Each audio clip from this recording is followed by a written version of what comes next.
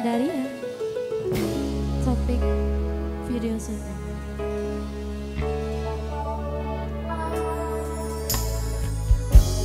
Saben wayah wengi Mikirno isi ati Opo tenan no tresno iki Dadi siji. Mantep anggonku mikir sithik kuwate Srito iki bakal apik keukir